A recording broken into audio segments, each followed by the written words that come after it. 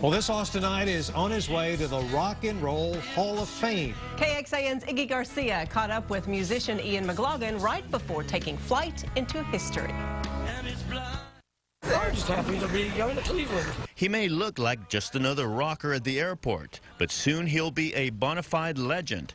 Ian McLagan will be inducted into the Rock and Roll Hall of Fame this Saturday. The former member of Faces has had a successful career playing with Rod Stewart, Ronnie Wood, the Rolling Stones, and many others.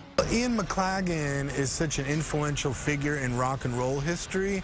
So this event is nice because it recognizes the fact that he's an international star and great musician, but it also recognizes that he's a really important part of Austin.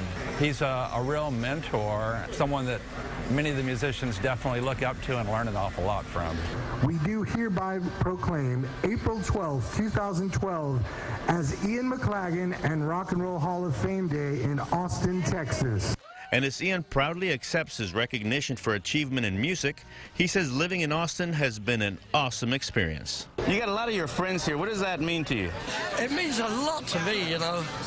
That's what Austin is, you know. It's all about friendship. Good people. So congratulations and cheers to our newest Rock and Roll Hall of Famer, who is proud to call our live music city home. I'm just looking forward to the event. You know, bring it on. Iggy Garcia, KXAN News.